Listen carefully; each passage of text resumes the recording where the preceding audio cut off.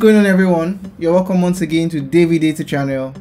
If this is your first time, you're welcome. I'm really excited to have you on this community and I'd like you to hit the like button and the subscribe button so you don't miss out on any of our content.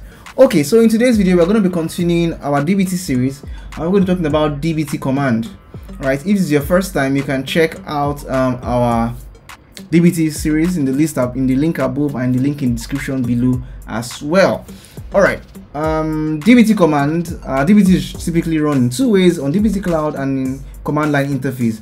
And basically, DBT command is what we use to tell DBT what to do at every given point in time, right? And these are a list of available commands from in DBT. Um, some of them are available in CLI only. That's the DBT core version and then while the others are available in cloud which is what we are going to use for this tutorial.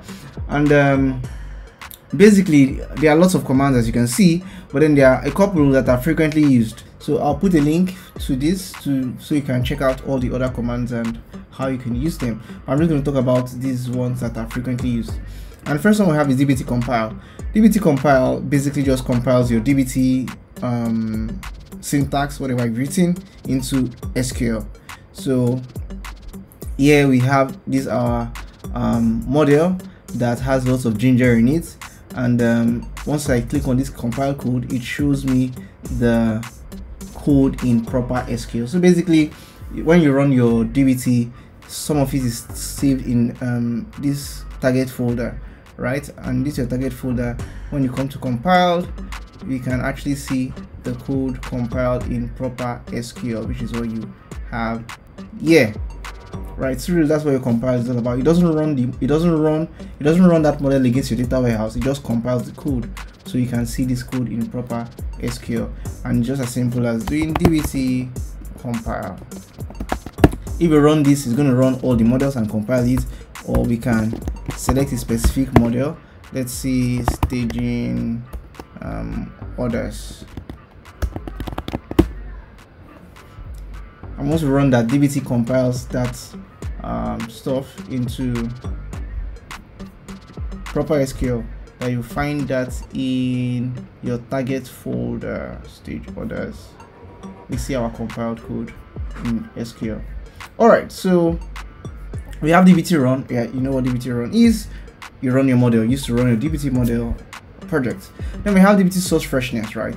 Um, is a is a freshness block that is used to define an acceptable amount of time between the most recent record and now for a table to be considered fresh. So um, really, just really helps you to um, manage your source freshness.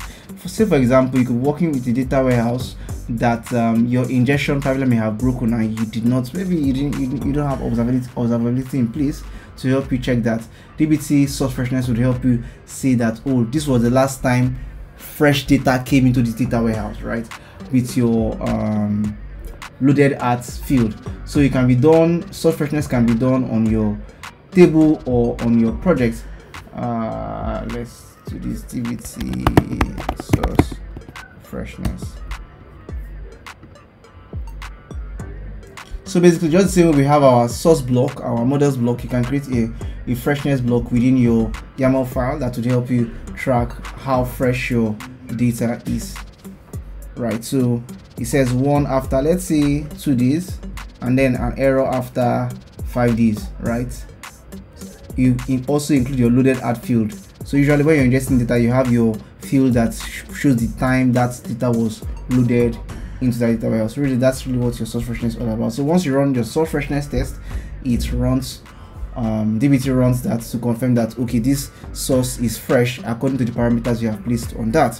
Then we have DBT test that runs your test you've defined in your YAML file, and we have DBT docs generate that generates your um, documentation for your DBT project. We also have DBT build. DBT build does DBT run and test at the same time, right? And then we have DBT run operation um, DBT run operation runs arbitrary maintenance SQL against the database.